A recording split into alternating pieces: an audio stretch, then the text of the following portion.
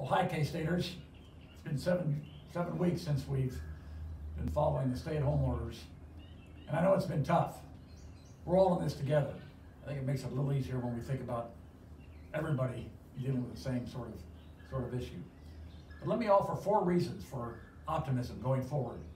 One is, in less than two weeks, we're going to graduate over 3,000 students here at Kansas State University. That's 3,000 people going into the world to make it a better place. That's our mission. And I think if you look back seven or eight weeks ago, there might have been some who would have doubted we could have done that. But thanks to the great work of faculty and staff, uh, it's happened.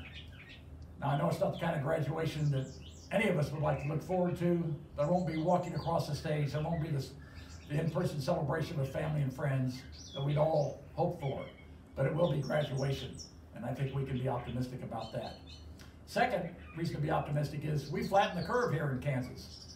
We've been very disciplined in following the instructions from our state and local officials, and that curve has flattened. And it leads to the third reason we should be optimistic is that now state and local officials can see a phased approach to a much more normal existence. If we continue to be disciplined, follow their guidance, in about 45 days, we'll have a much more normal existence.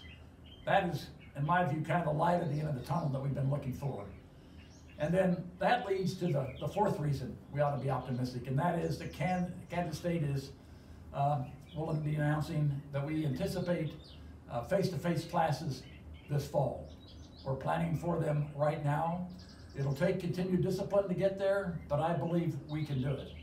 So I think those are four pretty good reasons for us to, to be optimistic about our future. And we all are in this together, as I said before. And let's all stay K-State strong.